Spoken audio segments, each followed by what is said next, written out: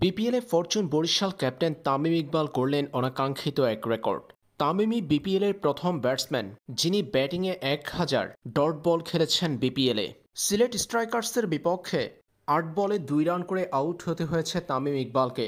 এদিকে তামিমের ব্যর্থতার দিন, ব্যাট হাতে ঝড় তুলেছেন মাহমুদুল্লাহ রিয়াদ। অভিজ্ঞ এই অলরাউন্ডার শেষ মুহূর্তের ফিনিশিংটা আজও করেছেন দারুণভাবে। শেষ অংশে ব্যাটিংয়ে নেমে মেহেদি হাসান মিরাজের সঙ্গে আঠারো বলে ফিফটির চমৎকার এক পার্টনারশিপ গড়েছেন যেটা থেমেছে উনিশ বলে বায়ান্ন রানে। এই সময় মিরাজের ব্যাট থেকে পনেরো রান এলেও রিয়াদ করেছেন দুর্দান্ত এক অর্ধশতক। মাত্র চব্বিশ বলে একান্ন রানের ইনিংস খেলে অপরাজিত ছিলেন মাহমুদুল্লাহ রিয়াদ। তেইশ বলে এর আগে নিজের ফিফটি ছুঁয়েছেন রিয়াদ।